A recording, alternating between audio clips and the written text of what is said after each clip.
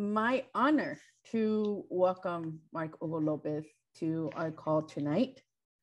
Um, let me find my notes. Here we go. Okay, so Mark Hugo Lopez is the Director of Race and Ethnicity uh, Research at the Pew Research Center, uh, where he leads planning and the center's research agenda focused on chronicling the diverse, ever-changing racial and ethnic landscape of the United States. He is an expert on issues of racial and ethnic uh, identity, Latino politics, culture, the US Hispanic and Asian populations, global and domestic immigration, and the US demographic landscape.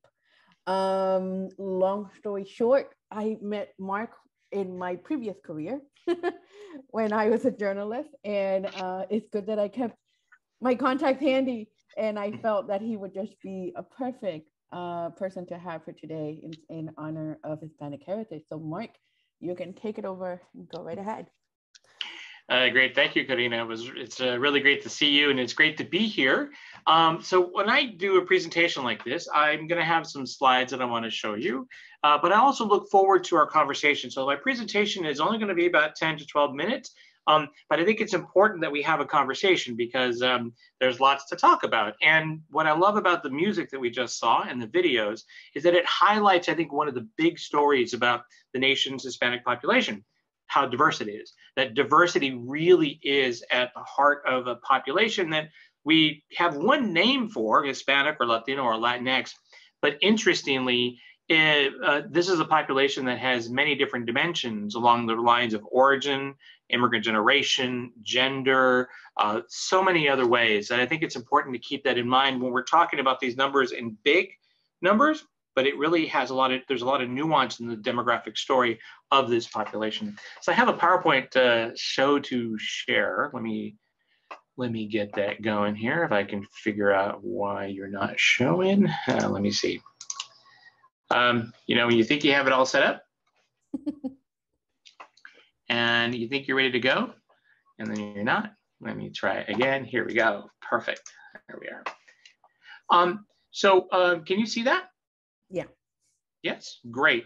So I want to talk about um, some of our work. You'll see that this has a specific title, a title about Latinx, but I want to come back to Latinx because that's usually one of these questions that people have about what's the right term to use to describe the nation's Latino population. Um, but I want to do more than just simply talk about that. I want to talk about some of the demographic stories that we see uh, for the population. But first, a little bit about me um, and the center that I'm from. Uh, the Pew Research Center is a nonpartisan, non-advocacy organization. We're based in Washington, D.C. Uh, we're funded almost entirely by the Pew Charitable Trust, but you should know that uh, because we're nonpartisan and non-advocacy, we don't take any positions on policy. So you might have questions for me today um, about what should be done or how do we address something. And um, I'll say, I don't know. Or I might say, well, our survey shows, uh, because we can't make any recommendations. Uh, one key element of the work that the center does is work on the uh, on science and American attitudes towards science uh, today. Uh, I put in the uh, chat a link to a report that we did on climate change activism. It was recently published in this last year, but it has some very interesting findings about the ways in which Americans um, see themselves getting involved in climate action, and you might find some of those findings helpful. So first, some numbers. Uh, the 2020 census data numbers were just recently released, and it showed that the census counted 62.1 million Latinos in the United States. As you can see, that number has been growing pretty fast. In fact, since 1970, the number has grown almost sixfold. Um, and it's striking how quickly this number has grown. But you'll also notice that the slope of that line between 2010 and 2020 is a little flatter than it was, say, between 2000 and 2010. And that's really another one of the stories here about the demographics of this population is that while it's still growing and growing fast, it isn't growing as fast as it used to. In fact, population growth for Latinos has slowed and slowed um, significantly in the last uh, 10 years or so. There's a number of reasons for that, and I'll talk about that in a little bit. Um, one other thing that was interesting about the 2020 census findings is that the reported racial composition among US Latinos has shifted and there's a lot of there's a lot of uh, conversation about this. Um, why did this shift happen? But to show you what happened in 2010, 53% of Latinos, according to the 2010 census, said that their race was white. Uh, 37% said their race was something else. Um, about 6% indicated that they were multiracial, more than one race. Um, and what's interesting here is that in 2020, those numbers flipped. The share that said they're white dropped to 20%. The share that said they're, they're some other race uh, rose to 42. And look at that number for multiracial Latinos. It went from 6% to 33% uh, from the 2010 to 2020 census. Now, you might be wondering, why did this happen? What drove some of this? And it's interesting because this was an increase of about uh, 17 million people among the Latino population, indicating that they are now multiracial when they didn't do so in 2010, but they could do so. Um, the Census Bureau indicates that part of this may be due to the change in the way the census question was asked. It also may be due to the way that the data is coded now, and that the Census Bureau is coding data um, in a different way than in the past, capturing more diversity in people's responses um, than had been the case before. So a lot of that multiracial number is really people who say they're white and some other race. So they're white and black, white and Asian, white and Native American or indigenous. Um, so it really is interesting that the combinations are largely white with something else in that multiracial finding. But many people have uh, uh, grabbed onto this finding and have noted that this is a really interesting result indicating that maybe the Latino population in the United States isn't as uh, white as everybody thought it was. Maybe it is browning just the way the rest of the country is browning. And perhaps that's the case. I think, though, there may be a little bit of an impact of the way in which the Census Bureau asked this question nonetheless, the racial composition of Latinos is a very interesting story, and it only goes to show you how diverse this back this population is and how it sees its background is in very diverse ways. And this is only one dimension of it. Now, I want to get to some of these uh, questions around panethnicity and ethnic and identity labels, because this is usually the one big question I get the most of is, you know, which terms uh, should we use to describe this population? Well, first, um, where do these panethnic terms come from? In the 1960s, Mexican and Puerto Rican civil rights groups were seeking some way to get better data on their populations and got together to um, advocate for the creation of a Hispanic identity question. That was actually first uh, implemented on the 1970 census. So in the 1970 census, you see the Hispanic identity question being placed on 5% of forms. So that's the first time we really have this Hispanic identity question. The term Hispanic, by the way, was adopted in the 1970s by the US government and in the 1990s, uh, Latino emerged as an alternative um, in an OMB directive uh, to Hispanic. And so from 1997 on, the federal government was saying people are of Hispanic or Latino origin when reporting data from the census, for example. Um, and the term Latinx, which is a new term that's emerged, and I wanted to talk about this term because this is one of those terms that's uh, that in some ways has become much more used, more popular in some circles, but also a term that um, sparks a lot of reaction and debate. And so I want to talk about that term, but it's also important to note that it's been around for a while. It first emerged in the 90s alongside Latina slash O when some, uh, some um, uh, ethnic studies uh, uh departments and centers at universities started uh, trying to uh, reflect the diversity of experiences within the Hispanic population, but also a nod to gender by using phrases like Latina slash O or Latin with an at sign. Those were all uh, competing along with Latinx as alternatives to be more gender inclusive uh, of the population's experiences. Um, so what is Latinx? Well, Latinx is a term that um, is uh, is a gender neutral term to refer to a person of Latin American descent you should know that it is meant to be an alternative to the gendered Latino, Latina, and these other alternatives that emerged in the 90s. Um, it's, uh, it's meant to be a, a, one that's inclusive of people who are trans, queer, agender, uh, uh, many different uh, groups. So it's meant to be an inclusive term uh, overall, um, in, in, contrast to, to Latina or Latino. Um, and it's also a term whose use has been rising. And so we've found that in, in uh, Google searches, uh, there are more Google searches than ever for the term Latinx because the term Latinx is something that's becoming more popular uh, uh, uh around uh, around the country, and people are wondering about the term's meaning, and so there's been more searches for it. Keep in mind that Google searches do not indicate that people uh, um, use the term or find the term a welcoming term, a term that they want to use. Um, it's just people are searching for the term. But interestingly, by comparison, uh, the term uh, Latinx is relatively less searched for than other terms like Hispanic, Latino, and Latina.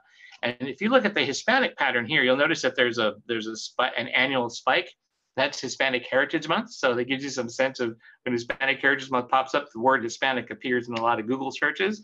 Um, and that's a pattern we've seen actually going all the way back to the early 2000s. Um, but as you can see, Latina and Latino are more are, are searched for more often than either Hispanic or a, a distant uh, last is, uh, is Latinx. So um, at the Pew Research Center, we wanted to find out, because this term is becoming more popular, um, does the public generally know about the term? So the first question we asked is, have you ever heard of the term Latinx? Then we followed up with, if you've heard of the term, we asked people, do you actually use the term to describe yourself? And here's what we found. This is from 2019, so before the pandemic, and things may have changed. But at the time, we found that three quarters of Latino adults had never heard of the term Latinx. And of those who had heard of the term, relatively few actually use it to describe their own identity, Overall, just 3% of Latino adults use the term Latinx to describe themselves. Um, we released this finding, and this finding drew a lot of attention. Um, uh, folks uh, uh, found the finding uh, found in the findings something that that they may have wanted. So lots of different people with lots of different perspectives, both pro and against Latinx, um, found something in this. But it is interesting that the people who this term is meant to describe generally are unaware of the term and, uh, and haven't heard of the term. This uh, fits very well with what I have found traveling around the country. That is that many people around the country just haven't heard of the term Latinx. You ask about it uh, outside of Washington or outside of the big cities, and people generally just uh, have not heard of the term. They're like, what? What's that? Or I haven't heard of that term which I think is also very interesting uh, when it comes to the use of the term. Um, you'll find that uh, those who've been most likely to have heard about this are younger people. Um, women are slightly more likely to have heard of it than, uh, than men. Uh, women are more likely to use it than men, by the way. Um, the US born uh, college graduates and Democrats are also the ones more likely to have at least heard of the term Latinx and also perhaps use it. But across all of these groups, as you can see, uh, fewer than half have heard of the term and among those who uh, use it, um, those shares are relatively low as well, usually under 10%. Um, though there is one group for which the use of the term is relatively higher. So who are Latinx users? Well, two thirds are 18 to 29 years old. 70% uh, have been to college. 85% are Democrats. Two thirds are in the Northeast or the West. So there's a geography to it. Uh, Latinx users are more likely than non-users to be unaffiliated with any religion. So they're not Catholic, they're not evangelical, they're oftentimes unaffiliated. Um, and 45% uh, are second generation, 22% are third or higher generation, meaning that they're not immigrants, they're the US born either children of immigrants, which is second gen, or they're third or higher gen, which is their US born of US born parents. And 85% are either bilingual or English dominant. So we're, we're we uh, most Latinx users are not necessarily Spanish dominant uh, um, uh, people. One other interesting finding is that uh, young women are more likely than any other group that we were able to measure, and I'll come back to that in a little bit, to say that they use Latinx to describe themselves. 14% of young Hispanic women say that Latinx is a term they use to describe uh, their own identity. Now, I will say that the survey did not ask respondents about their sexual orientation. So that is a shortcoming of the survey, though we do have people in the survey sample who do uh, who say that their um, that their sexual orientation might be LGBT. Uh, but uh, when you uh, when when we asked and did the survey, we didn't have that question in our demographics, and that is a shortcoming of our work. So I couldn't report this for you for those who might be LGBT. So uh, that's something that we hope to be able to look at later on with another survey of Latinos in the future. Finally, um, the terms Hispanic, Latino, and Latinx. Um, should the term Latinx be used to describe the Hispanic or Latino population? And you'll find that uh, two thirds of Latinos who've heard of the term say that no, it shouldn't be used to describe the population. Only one third say it should be. That's an interesting finding because even among those who've heard of the term, uh, the majority say that it shouldn't be used as an alternative to Hispanic or Latino. Um, and when you ask about which terms people would prefer to use uh, to describe um, uh, the, the group, uh, the population, as you can see, Hispanic is by far the term preferred, even among those who've heard of Latinx. Hispanic is the term preferred by far, uh, even more so than Latino, to describe the population in the United States. Um, What's also interesting is we did uh, an open-end uh, question to ask people about what the term uh, um, Latinx means to them. So when they hear it, what does it mean to them if they've heard the term? And you can see that 42% say, oh, it's a gender-neutral term. That's that's how I, I see it. But you can also see that there were some reactions from people in this write-in that have a number of different uh, uh, uh, and variety of responses. Um, some folks say that it's um, something that doesn't work in Spanish. Uh, the letter uh, X is not common in Spanish. Um, others say that it's an example of, um, of US uh, quote unquote uh, colonialism or imperialism, um, that it, uh, that it, uh, it ignores uh, uh, Latin America and it's really imposing a US centric view of the world on Latin Americans. Maybe, I don't know, but these are just, again, the views that people in our survey expressed about the term Latinx. Finally, um, the Latinx isn't the only term out there that's emerged to describe to have a gender neutral term to describe the population. Latine is an alternative that's emerged in Latin America, and you see it emerging in Argentina. And here's a story from Argentina about teens in Argentina using this term, but also it's emerged in Mexico and other places around the world as well, in the, in the Spanish-speaking world. And it's not alone. Uh, there are also movements in other um, parts of the world, like in India, to generate and create gender-neutral language to describe people's identity. So more broadly speaking, the world is going through an assessment of uh, how we talk about uh, gender and how we talk about identity. Um, and I think you're going to see more movements to change language. Latinx is just one part of a broader international story. I'm going to stop there. I'm happy to talk about more in terms of the diversity of the Latino population on, on other dimensions. But if you want to find our work, you can find us all here. And of course, here's my contact information and my communications colleague, uh, Julia, is also somebody, if you have any questions, you can reach out to her too. Um, I will um, stop sharing my, my slideshow here. And I was going to say that I will also send uh, uh, Karina to you the PowerPoint presentation as a PDF in case folks want to have a copy of it. Thank you so much for that. I was actually getting that request, so I appreciate that. We can put that in our notes and share that with the rest of the team. Great. This is great. So let's open it up for questions. What kind of questions do you have? That was a great presentation, Mark. Thank you. No, thank you. Patricia. I, I do have a question. Um, so when you use is Hispanic, could you use it because it, I assume it's for the language? Can you use it for people from Brazil too? Would you refer? You know, I'm sorry. Go ahead. I'm sorry. No, no, no. Do you refer to them as a Hispanic when they don't speak when they don't speak Spanish, right? Yeah. yeah, yeah. Um, uh, and that's a really good point. It's something that many folks oftentimes ray, uh, raise, like are Brazilians included in your analysis? Um, so the Census Bureau does in, include people who count who say that they're Brazilian um, in the Hispanic population if they say that they're Hispanic. But remember that the question is, are you Hispanic or Latino? So while we we might use Hispanic to describe this population, uh, people may be thinking Latino, and we don't know for sure uh, in the way that they respond to the question. I will say in our surveys that we do, if somebody says they're Hispanic or Latino and they enter into our public opinion surveys as such, we don't do anything other than to treat them as such. So if somebody's Brazilian and says that, then they will be counted as Hispanic or Latino. I will say we get Filipinos who participate in our surveys, indicate that they're Hispanic or Latino. We get people who are French and Italian who do as well, and Portuguese. Um, uh, so it is interesting that that Latino part is capturing, I think, people of a bunch of different backgrounds.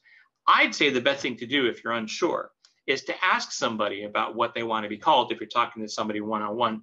And if you're describing a population, I might use the variety of Hispanic or Latino or use them interchangeably, but not try to, to split hairs and say, um, uh, so Brazilians, yes, we're counted, but only under the Latino side. And when we say Hispanic, I don't mean to include you. That seems like that's going to be a, a can of worms to keep track of. Thanks, Olemi. Patricia, you had your hand up. Actually, I did a this little applause thing, but now that we're talking, now that you brought you, you know, it's up. Um, one of the things we talk about is putting out our pronouns and things like that. Um, have you heard of people using elle for they, them in Spanish. Is that what you've heard in reference Yeah. to they, them? Have you heard anything else? No, um, no. Come to think of it, no. Okay, I just want to make sure because as we're also pursuing language justice, um, we want to make sure that, you know, it's it's accurate on both sides. So I just wanted to declare uh to see if you could help me with that. Yeah. Thanks. Uh, you know, it's it's a good question. Um, uh, I haven't heard anything else. I, I think this is still evolving though, because uh, every now and then I'll see something that's that uh, is unexpected. Um, but I think it's I think again it's still it's still uh, uh, people are still figuring out what the what the best way is to describe themselves. But that's really what's great about identity is people I think today are more likely to choose what they want as opposed to say, "Am I supposed to say Hispanic?" They'll say, "I am," and then they will tell you what they are. Thanks, Patricia. Natalie? I have two questions. The first was one of the slides that you shared showed that Latina was the most Googled. So I think that was the top of all the squiggly lines you showed us. Do you have any uh, rationale for why? Yeah, part of it is I think uh, it includes English and Spanish. as part of the reason, and also some of those peaks were during the the sweeps week for uh, Nuestra Belleza Latina. Okay, okay. So there's a little bit of that going on too. So there's a television show that I think people were searching for a contest. Um, Nice. Yeah, and Latina magazine, it seems like that word seems to be branded or sold specifically to to the female audience or the audience. yeah, and, and it's a, and definitely I think then again it, also just in just because um, uh, Latino and Latina are you got two languages that are using it, whereas Hispanic is largely just in English. Nice. Okay, that's helpful. The second one is actually about Latin America. So Latinos, Latinos, Hispanic, you're looking through the U.S. consensus lens, uh, but in Latin America or the rest of the world, what terms are they using? So are people in Latin America identifying as Latinas? Are folks in Europe or Africa or in, you know, we look further east, are they also calling us this? And are they identifying the Latinos on their continents in the way that we are? You know, this notion of pan-ethnic identity and using a term to describe the group is really a U.S. idea, and it's something that's emerged out of the U.S. Certainly, the term Latino to return to refer to Latin Americans is something you hear more often in Latin America. But I find that people often prefer their country of origin instead of this pan-ethnic term to describe the population. So you'll find that, for example, um, somebody from El Salvador will prefer to say they're Salvadoreño as opposed to they're, they're Latino.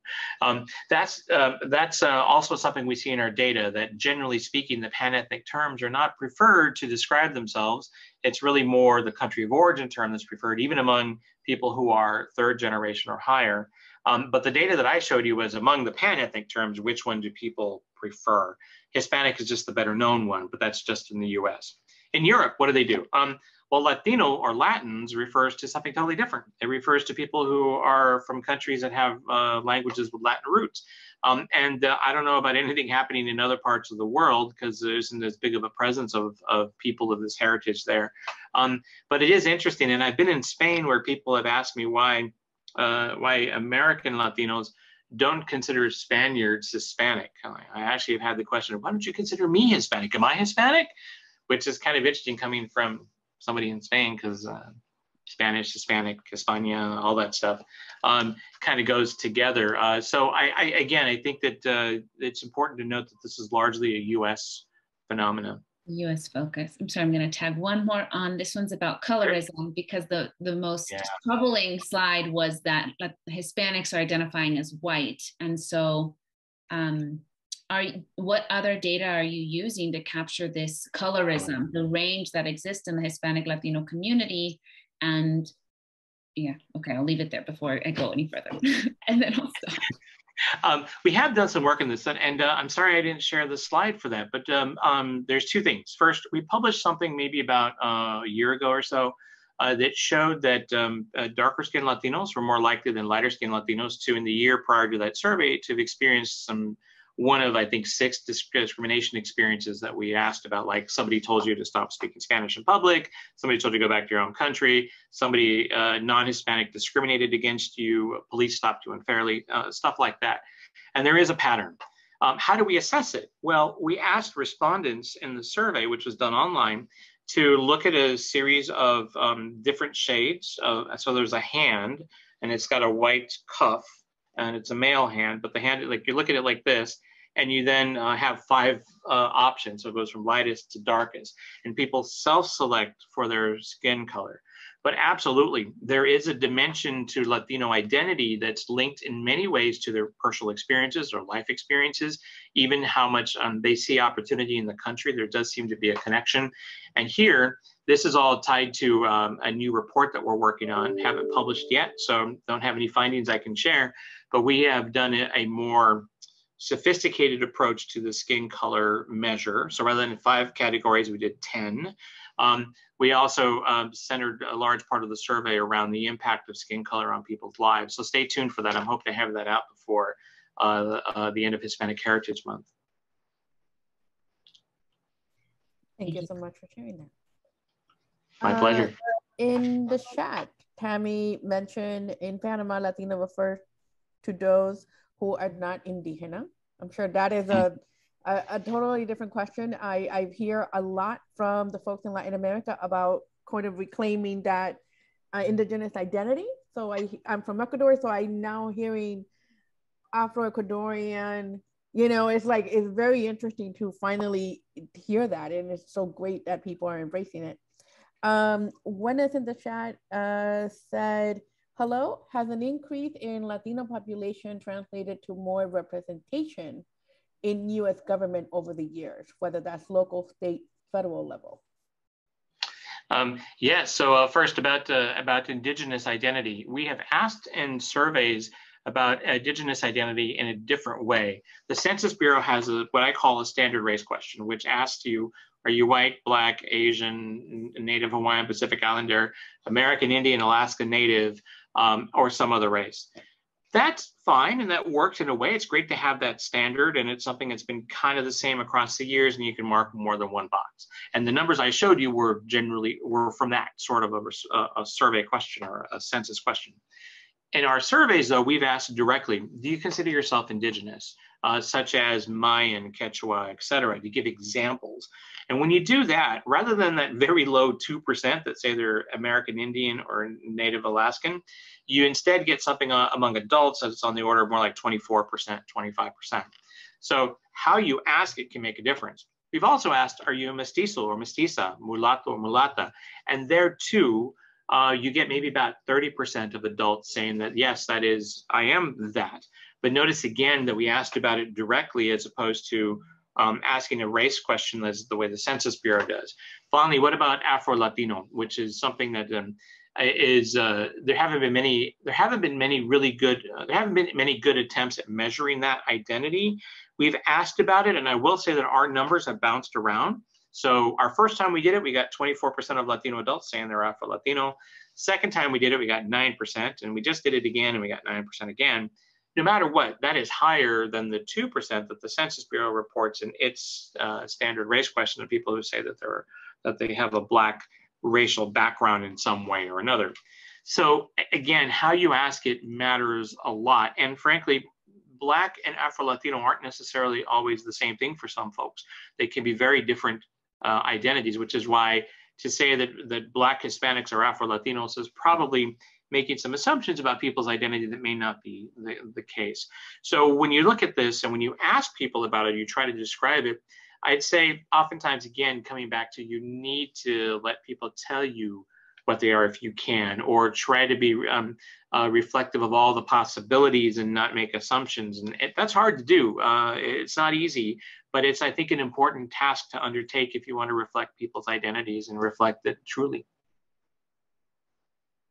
Oh, government. Yes, yes. I'm sorry. Uh, Gwyneth.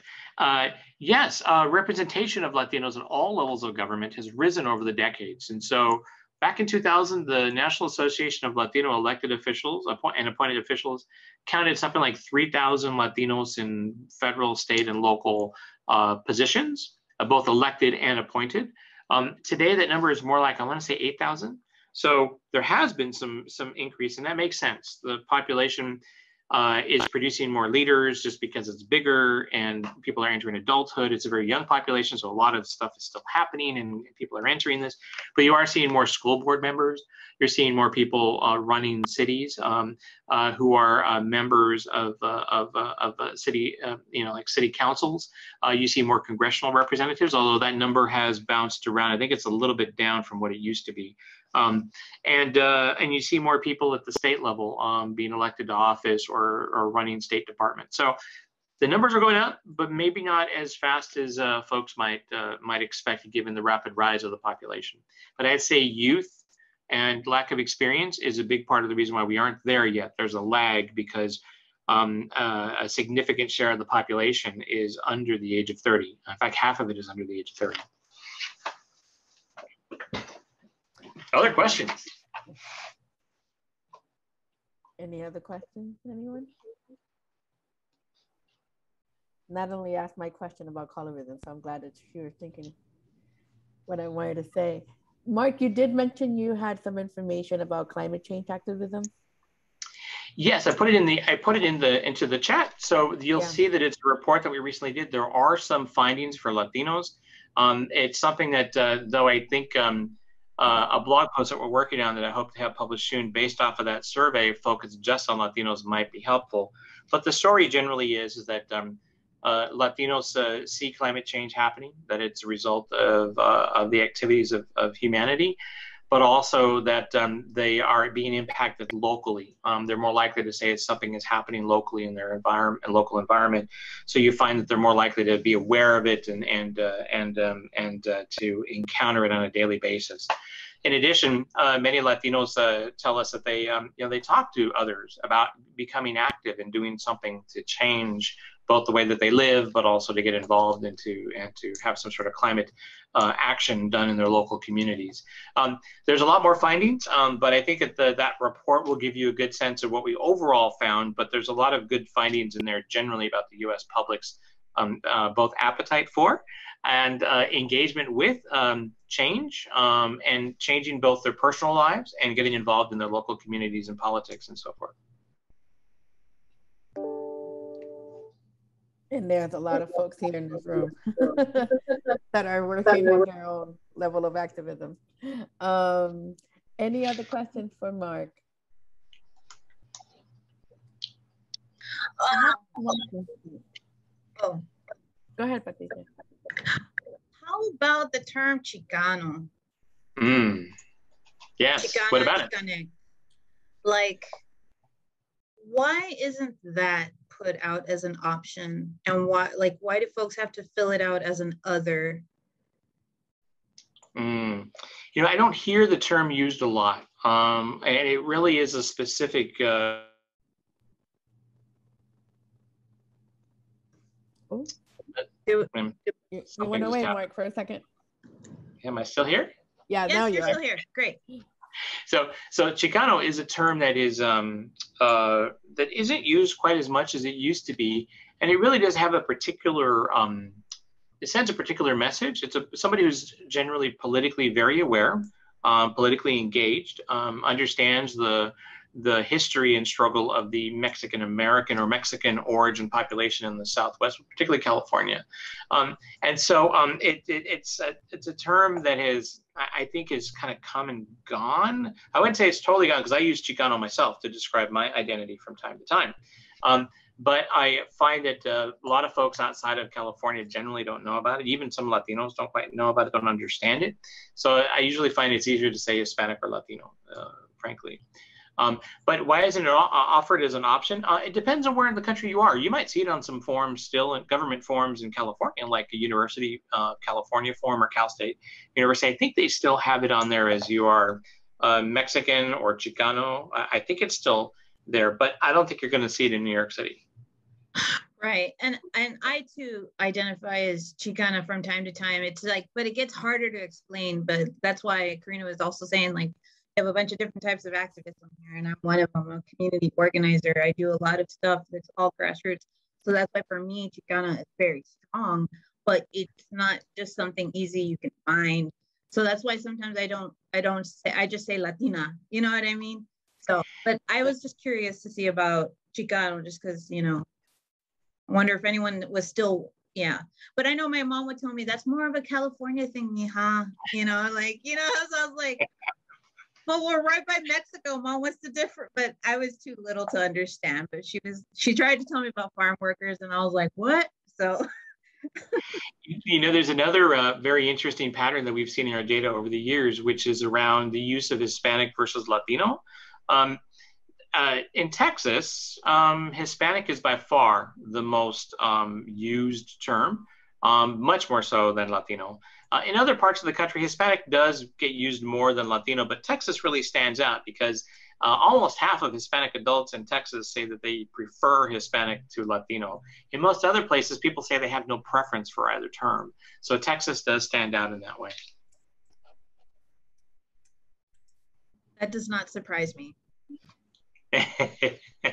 Texas is uh is, the Texas uh, Latino Texas Mexican American by the way. Um, here's a story for you by the way. Speaking of Chicano, I had a good friend in grad school who was uh, uh, Peter Rodriguez, who um, uh, Mexican American. So I called him Chicano.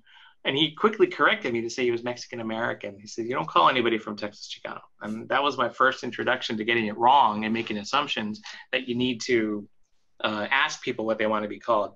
But then I met his mother, and she too reminded me that she's Hispanic and that she's uh, Mexican American, not um, Chicano or Chicana. Thanks, Patty. Thanks. Okay, Tammy, go ahead. So this, in a way, seems a little bit like a detour, but it's on this subject of naming, and it has to do with the like the multiracial identification, et cetera, et cetera. And it, it just really glaring to me that that on those forms the option is white, and then I guess there's black often, but then it's then it's a whole host of ethnicities, and so what I've been finding in my own personal use, because I because I'm a linguist too, and I think about meaning things all the time, is that rather than say white, I'm saying European American.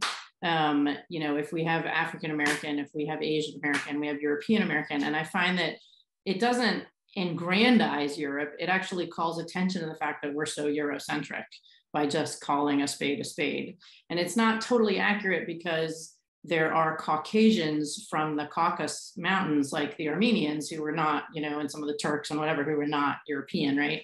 But since most of North America was settled by the English and the French and the Germans, it really does sort of apply, maybe some Italians and whatever. So I was curious um, how, if, if you have it, because it's not what you're talking about, if you have information or data on that, and if people are changing the way they're referring, I mean, we know they've changed Black to African American often, but not always, and, and what that distinction is and how that might apply to people who are pale. It's a really good question. So first, something about the 2020 census that makes it unique compared to the two previous ones. Um, in 2020, it was the first time that people who might indicate that they're white or who might indicate that they're black, that they could write in their ethnicities. Um, so if you remember from the 2020 census form, uh, if you when you ask the race question, it says, "Are you white?" Such as, and then it has German, Italian, Irish, etc. And then under Black or African American, it had Jamaican, Nigerian, Ethiopian, etc. It gave some examples, just like we do for the Asian. If you choose Asian American, there are examples underneath that. And then if you choose Hispanic, of course, there are ethnicities, as you noted, underneath that too. Um, it'll be interesting to see what the Census Bureau's tabulation shows of people's responses to that. Those will be the first time that we have it in the census. Um, we've had it as an ancestry question in other census uh, um, surveys, like the American Community Survey. Um, but I, I, you know, I, I, I think that we're living in a moment where people have, over the last 10 years, become more aware of their identity because of DNA tests. So DNA testing, I think, helps to shape that. But also the conversation that we've had over the last 10 years around race and ethnicity um, has emphasized the uh, multitude of backgrounds that people have. If you want to think about it in at least in some kind of a neutral way, of course, there have been a no, number of negative ways in which people's backgrounds have been emphasized, as in President Trump. Um, so I, am anxious, anxious and eager to see what the Census Bureau captured in that response to the to the um, uh, to the white and uh, African American race question responses. Second thing I wanted to say is that you know, terms that we use change over time, including the terms we use to describe um, people who are who uh, might say that their race is black.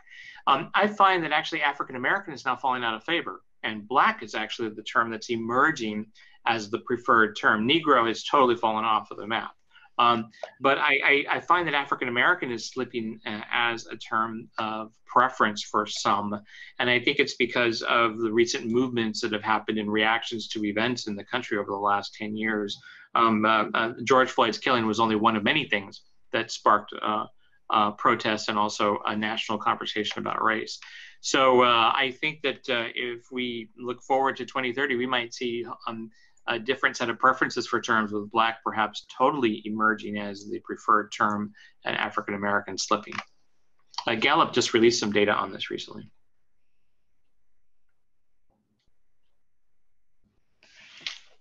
Maria was going to have a question. Maria, did you have a question? Oh, um, yeah, but it was like um, a little while ago, and now I have like another question, which is like coming off of the current conversation. And for example, um, I never identify as white or Indian or anything on the, the race question because I am a mixed person.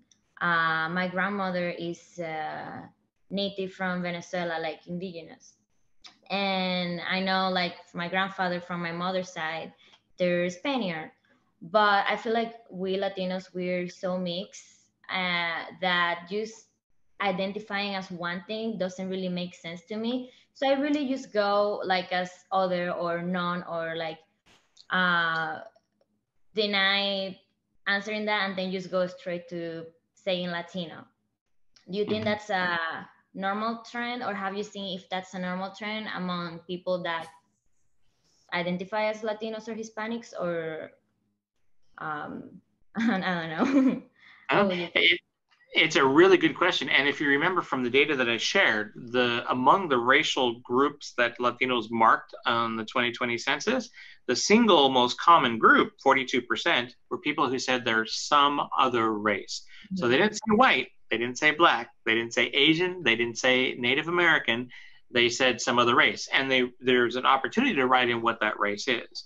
Now, we don't have the tabulation of that write in yet. The Census Bureau will eventually publish it. Um, but if you think about that, among Latinos, the most uh, the most selected racial group were people who said something else, not white, not black, something else.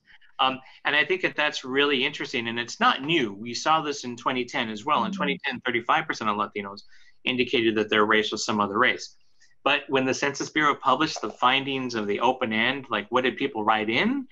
What's interesting is in 2010, the most common write in was Hispanic. Second most common write in, Latino or Latin American. And the third most common was Mexican. If you think about that, that's really interesting. So people are being asked their race. They're saying, oh, well, my race is not white, it's not black, it's something else. You know, my race is Hispanic. So they're telling us that their race is Hispanic. Now, I take people at their word, and I do think that for many people, their Hispanic identity is their racial identity, and that's totally mm-hmm. okay. But I know that there's a lot of sociologists and scientists out there and folks who just get really worked up about definitions and want these definitions to be strict and stark and clear, um, meaning that people will say, oh, but Hispanic is an ethnicity, it's not a race. And that's what the Census Bureau says. Hispanic background is not a race. Yet people keep writing in that their race is Hispanic or Latino or Mexican, which I think says a lot. It tells me that their concept of race maybe doesn't fit with the way the U.S. government uh, thinks about it, or the way the U.S. public thinks about it, but they have their own sense of what it is, or maybe they're confused and they don't know how to answer the question because they have told us in the first question that they're Hispanic, and then in the race question they tell us again they're Hispanic.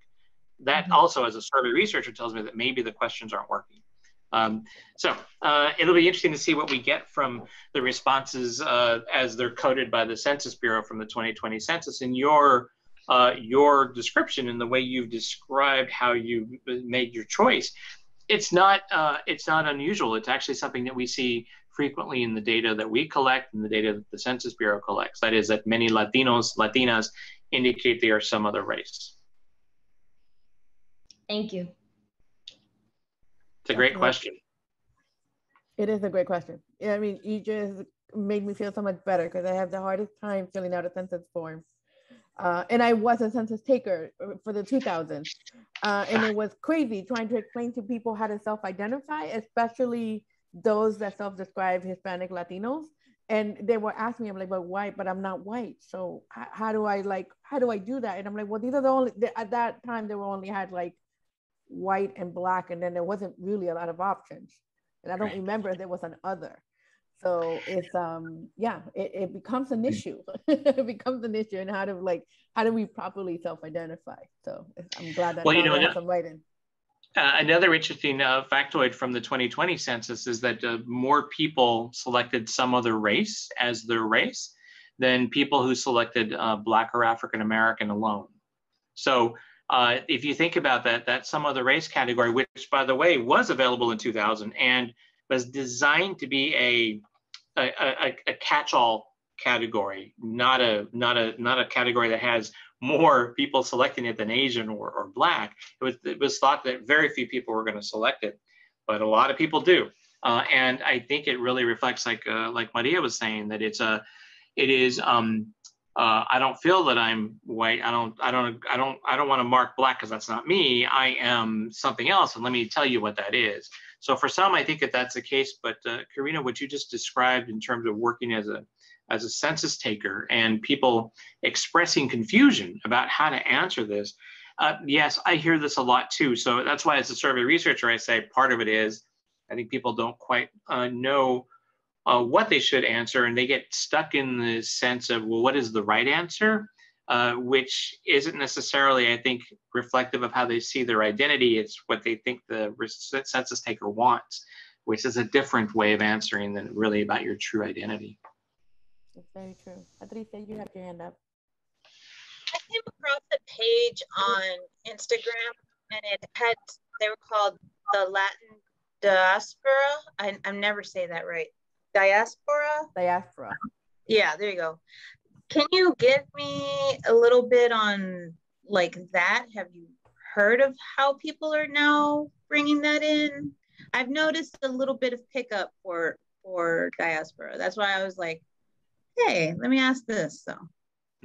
Yeah, it's a great it's a great question. Um, and um, I'm wondering in this Instagram uh, um, uh, this Instagram post that you saw, the Latin diaspora, were they referring to Latin America or were they referring to Europe uh, and Latin America? Because it can mean many, I, have heard it used in many different ways.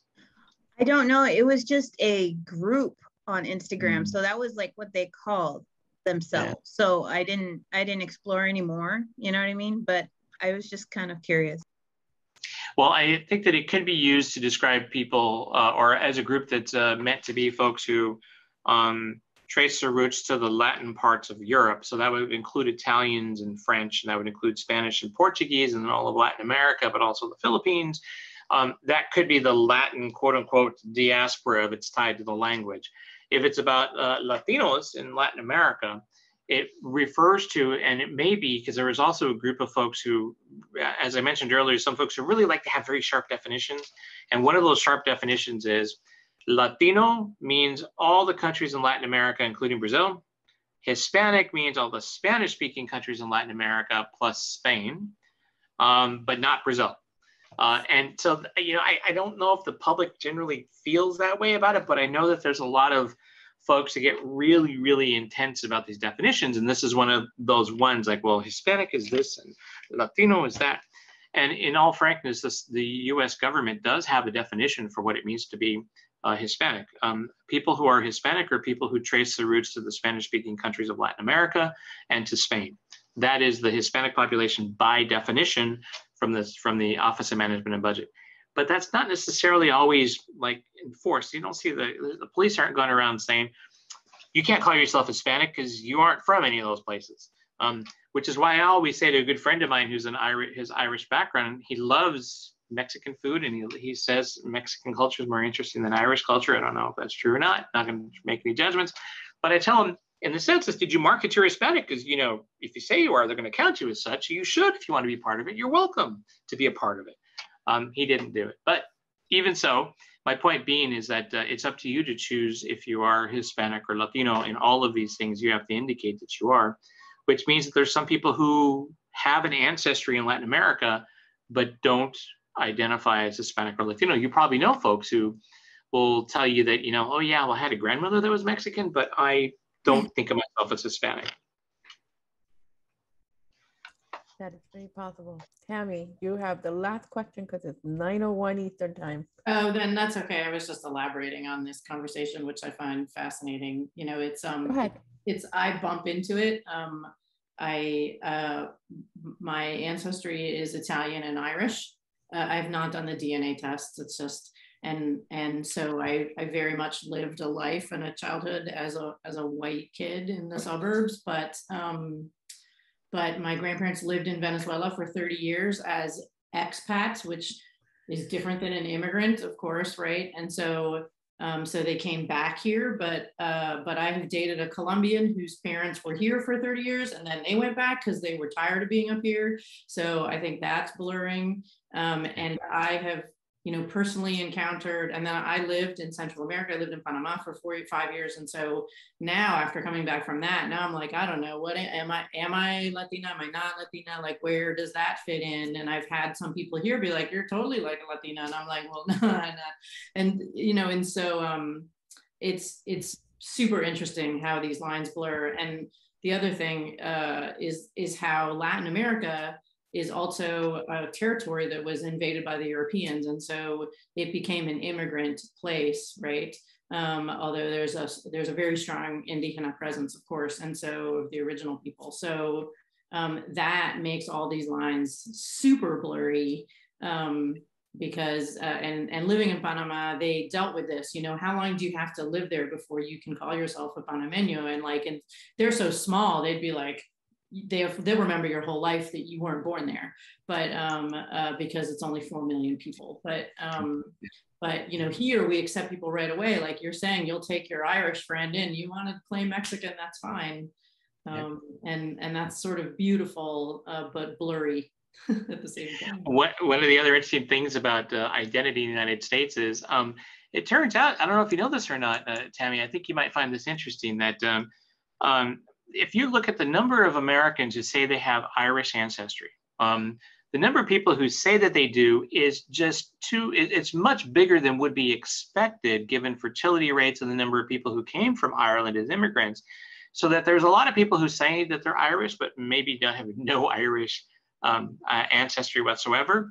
It turns out there's a lot of Americans as well who will say that they're Jewish because they like Seinfeld and they like bagels. And we've done surveys of this at the Pew Research Center, and there's a lot of people who say that they're Jewish. When you probe deeper, they don't have any Jewish ancestry at all, but it turns out that they like Jewish culture. They were in New York and so forth, and they just kind of said, "Yeah, I'm, I'm Jewish." Um, so it is interesting that these that these get blurred, but it also re- uh, reflects, I think, just the mix of people that are um, in the United States. And the U.S. isn't unique. There, there's a mix of people around the world. Different countries have different stories, and I think that's what makes it's so interesting to travel and to see all of these different combinations. But um, uh, in the US story, it is interesting that there's more people who say they have Irish heritage than is possible, given the fertility rates, the size of families, and everything uh, uh, uh in the US. That is wonderful. Uh, for those watching this recording later, I'm like, I want to want you to actually download the chat. The chat is very interesting, and I'm just going to read this for the, the, the amount of time. Uh, Callum was mentioning, uh, he said late comment, but a lot of the West Coast and Southwest universities have programs or certificates in Chicano Chicano studies while we were having a discussion about why the terminology is not um, used as much anymore. Um, Patricia was mentioning the same on the same topic. Uh, they have Mexican American studies where she is over there in Texas. Um, Natalie was mentioning uh, just realizing that race has a double meaning, given race is also defined as a competition, which is hard to digest when I see it that way. Um, Callan mentioned that his grandfather was Puerto Rican, but he's never considered himself not white at any point, since so much of the rest of his family is white. Very interesting. And Maria was mentioning in recent times the Venezuelan diaspora has been popular in conversations because of a very large amount of Venezuelans migrating in recent years. Um, she said, I think generalizing diaspora to all Latins, Latinos is not accurate because not all citizens of Latin American countries are migrating at the same rate. Oh, that is very fantastic comments. But with that, go ahead, Mike. You want to have the last word? About Venezuelans, um, just as a you know, if you ever go have a have a cocktail with me, you're going to find I'm going to be throwing all these facts out at you. So here's another fact. Um, the Venezuelan origin population in the United States is the fastest growing origin group among Latinos since 2010. So it's grown, it's more than doubled in size in the last 10 years, followed by Guatemalans and Dominicans. Those are the other two large groups, fast growing groups. Mexicans are the slowest growing. That is absolutely amazing. I love, I love your knowledge. I mean, you can spend more time just like thinking of like what other questions I can ask you. Okay, but with that being said, we want to take we want to thank Mark for being uh, with us today. Um, thank you so much for your knowledge and expertise. And uh, you're welcome to stay. We have like 10 minutes left of just, I'm going to be sharing some things that I want just everybody to know. Uh, and all of you, you're welcome to stay for the extra 10 minutes. or uh, you're welcome to watch the recording later. I think I'm going to head out. Uh, I need to grab myself some dinner. Um, but uh, Karina, it's a real pleasure. It's great to see you, and thank you for the opportunity everybody, it's a real pleasure to, to meet you all. I will be sending my PowerPoint presentation as a PDF so that you have the data and stay tuned for some of the work that we have coming on, on colorism and so forth. I'll include in my email, Karina, the link to the blog post that we published last year showing the link between discrimination and skin color. Wonderful. Thanks so much, Mike. Okay. Thank you, Thank you everybody. Bye. Thank Bye. you. All right, everybody. I got you for the next 10 minutes. If you just stay with me really quick, just reviewing some things. As you know, we continue to push for a price on carbon. The organization has been very busy for the last uh, two and a half months. So right now, uh, an action that we're asking for everybody to do is to write to President Biden. Um, so in the notes, you're gonna have the link and I'll put it in the chat so that you can continue, so we can continue um, advocating for this price on carbon that we want while they're doing this budget reconciliation, um, which is very important opportunity. As a reminder, November 14th to the 16th will be our November conference. It's going to be online again. Um, it is, um, we were hoping that maybe we could see each other in person, but it's not going to be possible just yet. Um, you know, we hope that one day soon I can see you and give you a hug. And you know me, I'm a hugger. Uh, but hopefully we can do that next year. Um, what else we got going on? So Hispanic Heritage Month. We didn't have a lot of time to discuss it today, but Patty and I came up with a nice little small little calendar. so I will be sharing that in the notes, hopefully um, in the next couple of days. Uh, we have a film screening um, coming up. We want to play Loteria online. We want to have a cultural evening. And what we're thinking is every Friday, starting after September 15th, which is the official opening of Hispanic Heritage Month, um, to maybe have an activity. There will probably be one Friday where we won't meet because there will probably be a presentation by the Diversity Fellows on that Friday evening, but we're thinking Friday at eight o'clock during this entire celebration um, that we can get together and have fun and just you know get to know each other and do all those wonderful things that we would do if we were in person. Um let's see one final thing i guess update on the bill that we love and support we're up to 80 co-sponsors it hasn't really moved much but we're still hoping uh, to get more people to support the energy innovation act and that is it if anyone has any news that you want to share let us know oh Tammy, yes, go ahead. Sorry, do you want to say the thing you said? Oh. Uh, I, if you're thinking of the video, I have the video. I wanted to show everybody. oh, nice. No, that's not what I was thinking of. Okay, um, go ahead. We also, um, so the the Write the White House is also available in Spanish. Um, so that's at cclusa.org slash Casablanca, all one word. Um, the English one is cclusa.org slash white dash house. Um, um, and so um, that's one thing. And then the other thing is we just wrote um, up here in the Northeast, um, Iona Ludi, the Northeast Regional Coordinator, wanted to send an op-ed um, about Hurricane Ida Um, and so we, uh, we like she wrote it, or I think some of it, whatever. It, some people wrote it in English, and then uh, I translated it, and we went back and forth on it. So it was really a collaborative effort. We put Iona's name on it as the Northeast Regional Coordinator, and we sent it to El Diario New York. Um, it hasn't been published yet, and we're gonna probably send it to some other places, but it's just a whole fresh op-ed. And so if anybody, it, it includes a paragraph about wildfires. If anybody wants to see that or in an area um, uh, that maybe was affected by Ida. Um, it has a lot of good links in it to Spanish language media articles about the hurricane and climate change and stuff. So um, just let me know. Send that out there. Maybe I can circulate it in the Southeast. You know, I think it's a great idea too with the other regional coordinators as well. Yeah, especially in Florida, where a lot of New Yorkers go for the winter, and they're beginning to think about going down there. Like maybe some of them are already there. So, uh, so there are people who are connected to both places. That'd be cool. Yeah, that would be, yeah. Thank that would be wonderful. Um, in case you have not seen it yet, it was published today. Uh, CCL National published a video um, discussing how climate change works. And our wonderful Tammy uh, help us translate that video. So we have it available in Spanish.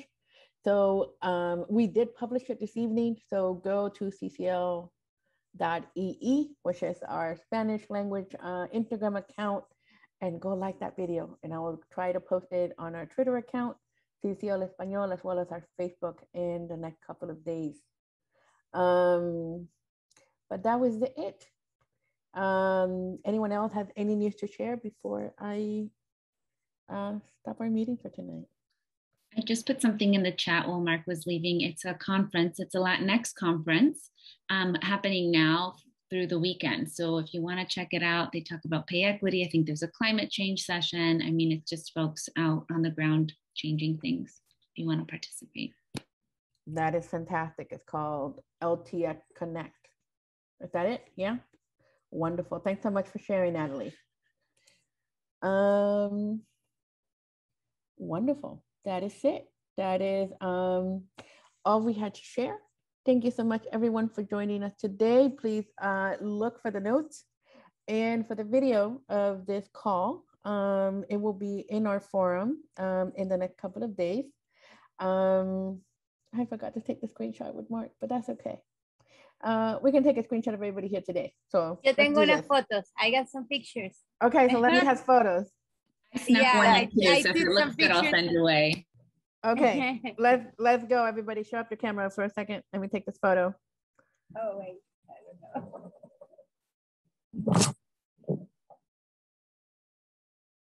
All right, you ready?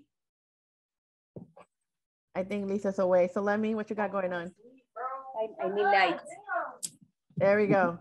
I got kids too. So let me Te esperamos, no te vemos. There you are. Okay, ready? Here we go. One, two, three. One more. One, two, three. All right, everybody. Thank you and good night. Let me turn off the the recording and